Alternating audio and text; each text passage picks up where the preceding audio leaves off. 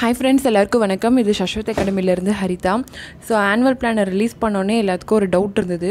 So group two and two A வந்து பார்த்திங்கன்னா same டைமில் நடக்குமா? ஒரே டேயில் நடக்குமா? ஸோ அதில் பாஸ் பண்ணவங்க தான் மெயின்ஸ் போக முடியுமா? ஸோ அந்த மாதிரி நிறைய டவுட் இருந்தது. ஸோ அந்த டவுட்டுக்கெல்லாம் பார்த்திங்கன்னா ஒரு ஆன்சர் வந்து கிடச்சிருச்சு. ஸோ பார்த்திங்கன்னா இப்போல்லாம் டிஎன்பிஎஸ்சியில் வந்து ரொம்ப ஃபாஸ்ட்டாகவே வந்து எல்லா அப்டேட்டுமே பண்ணிடுறாங்க. ஸோ வந்து டிஎன்பிஎஸ்சியோட ஹெட் சார் வந்து நந்தகுமார் சார் வந்து இப்போ வந்து ஒரு ப்ரெஸ்ஸில் ரிலீஸ் பண்ணியிருக்காங்க ஸோ என்னென்னா ரெண்டு எக்ஸாமே வந்து பார்த்திங்கன்னா சேம் மந்தில் நடக்கிறதுக்கான சான்சஸ் தான் இருக்குது ஸோ வந்து பார்த்திங்கன்னா சேம் டேட்டில் நடக்காது. ஸோ போட்டு யாரும் கன்ஃபியூஸ் பண்ணிக்க வேணாம்.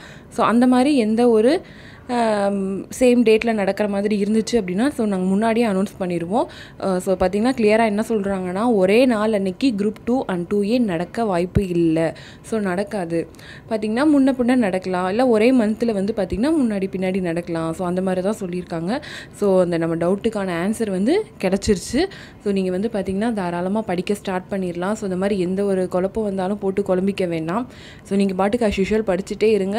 ஸோ எக்ஸாம் வர அன்னைக்கு மட்டும் நீங்கள் ப்ரெசென்ட் பண்ணிடுங்க ஸோ அவ்வளோதான் ஸோ சேமாக வச்சாலும் நமக்கு ஒன்றும் ப்ராப்ளம் இல்லை.